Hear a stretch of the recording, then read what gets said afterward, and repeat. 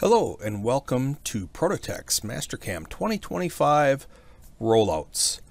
In this video series, we're going to take a look at all the awesome, great new enhancements introduced in the latest version. Don't forget, you can always find the latest information on ProtoTek's website. We now have our 2025 install and update guide PDF available for download and a new video made to show the installation and migration process as well. This series will be broken out into five sections with different uh, core topics. And we're going to start with section one, our general interface enhancements. The first thing we're going to take a look at is a wireframe update. Our arc tangent function has been given a sweep angle to several of the methods. This can be handy depending on how data is given to you. If you need to draw something, in this instance, they didn't give us like the height of where this line lies, just that there's 35 degrees of angle sweep. So if I was required to draw that, I could go to my wireframe, arc tangent, I have some different methods here. I'm just going to use arc on one entity. I pick the entity I want to be tangent to, where to place the arc at this endpoint. And then I've always had to pick which uh, of the available or possible solutions. Which solution do I want? I want this solution. And that, in previous versions, is where this function ended. What I gained in 2025 is that if I know that sweep angle, I can simply just punch it in now. Now I could draw that next line right out from that endpoint horizontal. The next thing we're going to take a look at is we have a new analyze function. We have the cool new analyze deviation.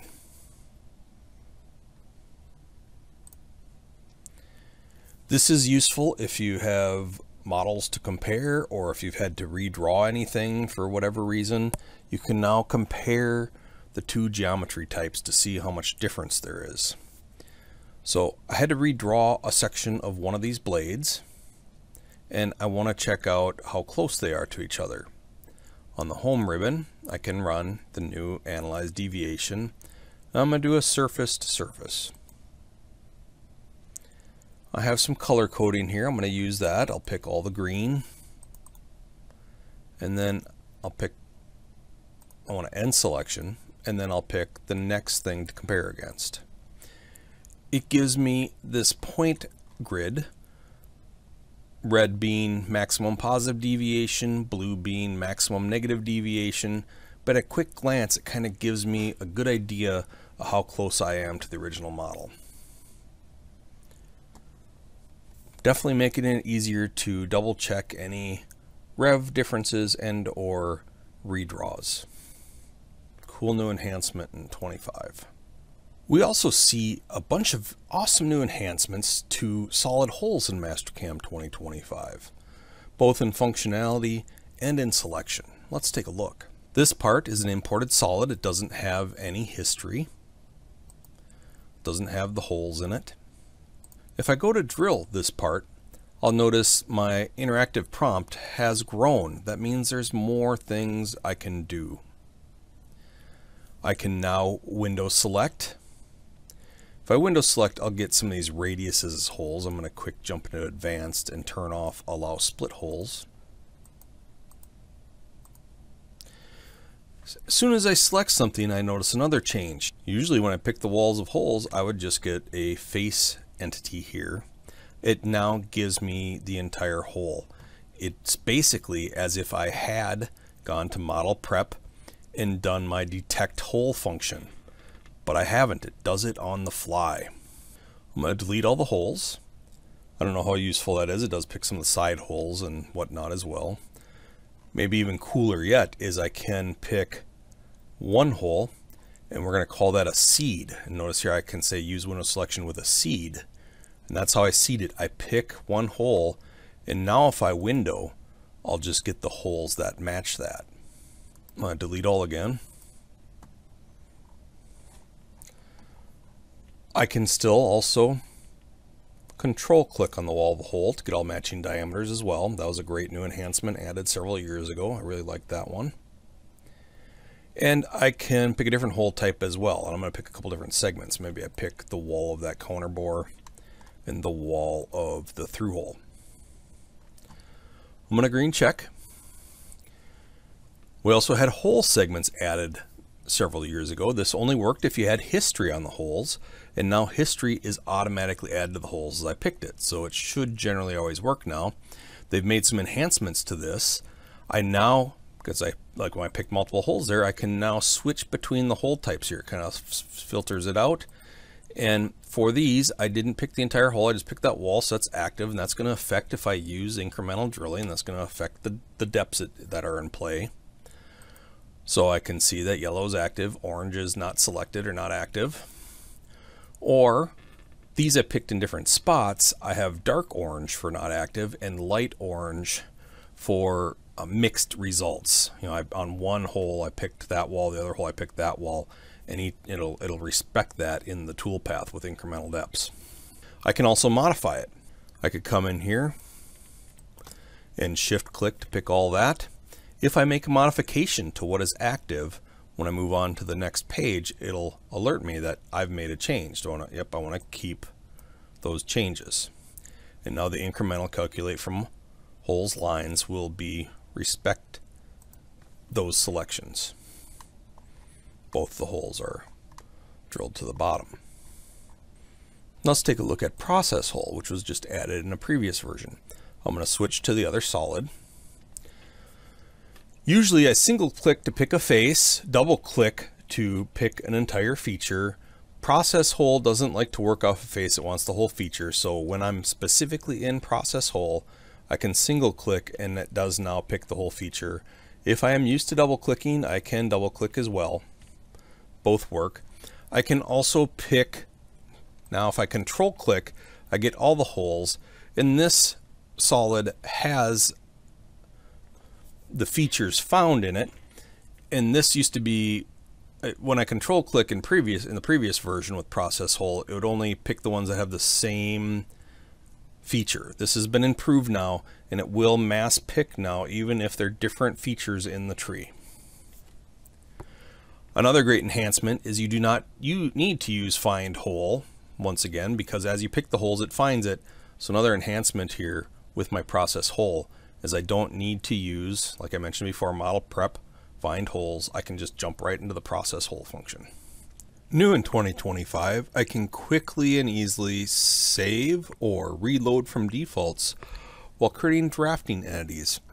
Uh, while I've been able to set defaults in the past, I now have access to it while doing my drafting, very similar to kind of save and reload defaults in your toolpathing. Mastercam 2025 also gives us a new option in Advanced Display. Advanced Display was added a few years ago. If you haven't checked it out, it's a very useful function. I can color code different types of motion. Uh, it makes it a lot easier to figure out what's going on in a toolpath, especially if there's issues. In 2025, we can now see the tool contact point. This would be in contrast to or in addition to the tool center tip motion. This is going to probably be most useful in 3D and 5-axis tool paths. For instance, this path here, the blue lines represent the center tip of the tool, and it looks like the 3D starts well below the face of the surface, and then it goes well below the bottom. Well, in these types of cuts, my tip is the blue line and that is not always the contact point or where the tool is cutting. So I can access my advanced display options in my view menu or right here in my toolpath manager and I can turn on this new option tool contact point. That puts these green lines on the part. That's where each of these paths are in contact. I can see that that first green line is up at the top of the surface there at the bottom of the radius right behind that orange uh, drive chain and the green patterning stops at the bottom of the surface. So that kind of tells our tools in contact. I could illustrate this in backplot as well. If I take a look in backplot, the center tip of my tool is down the part a ways there If I kind of look at it from another angle, my tool's in contact with the part at about that orange line like was being represented in the contact display. This could be useful in a variety of ways. It can help identify if there's any issues, you know, what's going on, or verify, you know, where the tool is actually cutting. For instance, if I created another unified tool path, I'll use the same tool. I'll use a curve cut pattern again. Pick this one face. Last time I used that red point as an axis control. This time I'm going to use the chain.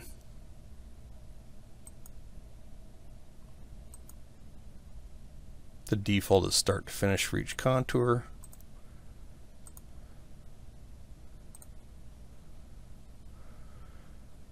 This results in a bit of a messy toolpath down near the bottom here if I have some clues as to what is kind of causing that mess, it helps me to better decide how to fix it. It may take multiple steps to fix, but that doesn't look great. If I take a look at that in Backplot,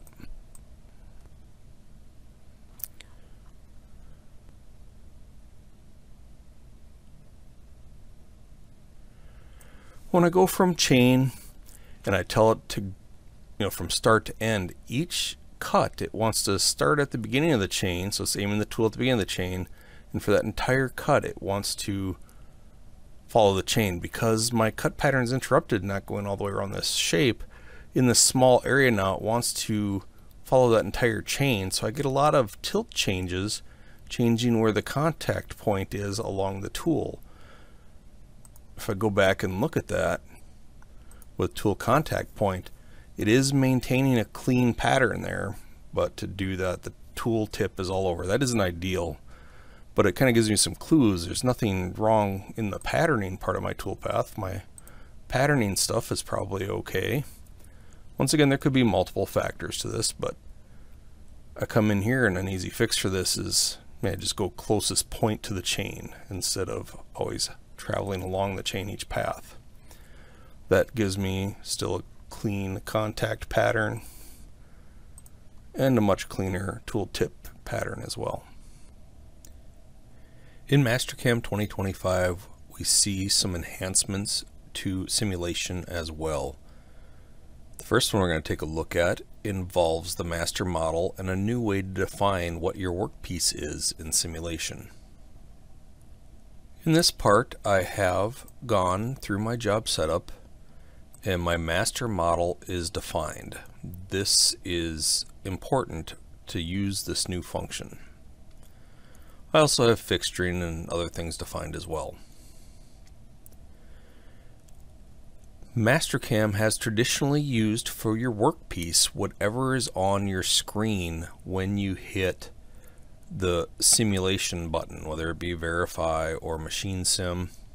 This could sometimes be problematic if you had additional geometry, maybe like covering areas you don't want your rougher to go into, or if you're doing some 2D work and maybe on wireframe. If I were to hit simulation now, that is what it sends to the simulation for our model.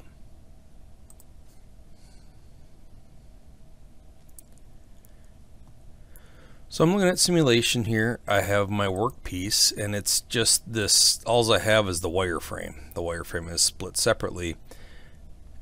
You don't always need your workpiece in simulation, but there are some functions where it can be handy, especially compare. I often like to run compare after my simulation to compare the cut part against the workpiece. But if I don't have the right levels on or the, the right views on, I may not get very reliable results new in 25, if I were to send the wrong data to simulation, I can now say, I have a workpiece field here, I can now say use my master model for the workpiece. And that is good for this one, but if I had done the other one when I sent to simulation, if I had all those cover patches on there, they would still be there. So I can also turn off so that doesn't use the screen model. Now I can run my simulation I'd probably start with the workpiece off or transparent and have my stock on. Now I could run my simulation and now I could still do an accurate compare. 2025 also brings us an enhancement to the color loop function in simulation. This is the same part simulation we were just looking at. The color loop option can be found on the verify tab.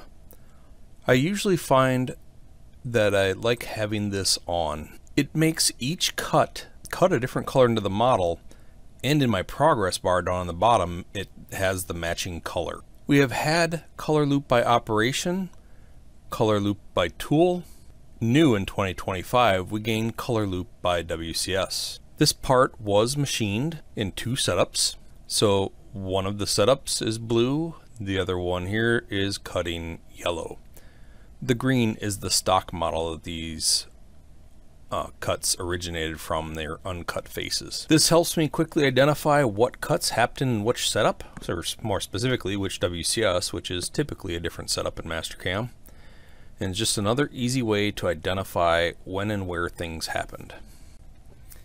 In Mastercam 2025, users that have a local software license will now receive notifications when there's an update available for their license.